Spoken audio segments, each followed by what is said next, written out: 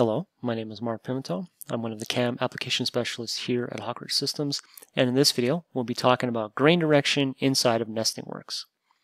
So, I'll be making this component from a sheet of oak that has a particular grain direction. And I'd like that grain direction to be in the same direction as the slot or the obround pocket on my component.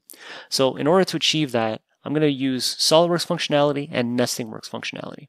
Let's start by using the SOLIDWORKS functionality to define the grain direction of this component.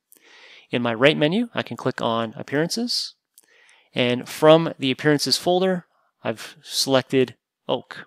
If I just drag this textured face onto the face of my part, I can define just this single face as having the texture, mainly because I also want that face to be the top face of my part. I want the grain direction to be in the same direction as the slot. So now in my left menu, I'll go to Appearance. I'll right click on the only appearance I have on this part, edit the appearance, and under Mapping, I can just change the orientation of that grain. I'm just going to change it to 30 degrees to match the same direction as the slot.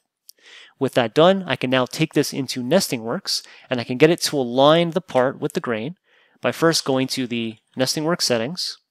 I'll make sure that the grain direction is the same direction as the textured pattern.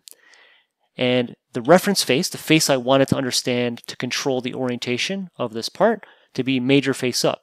I'll tell it what the major face will be by overriding it using the textured face. So now that appearance that I've added to the face of my part also defines not only the grain direction, but the top face.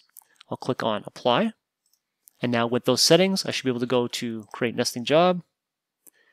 And we can see that it understands that that textured face is my top face. And because it didn't recognize that I added the texture, I'll just add the texture pattern definition here. And now you can see the grain direction is in the same direction as my texture.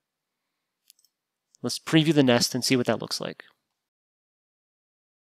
Okay, with that done, let's create the nested assembly and we'll see that the grain direction is the same for all 50 of my parts.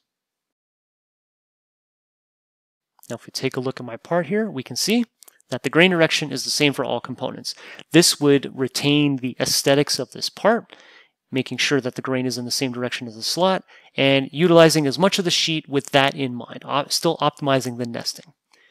Any questions on this or anything else, give us a call at the phone number found on our website, and stay tuned to the rest of the videos on this YouTube channel. Thanks for watching.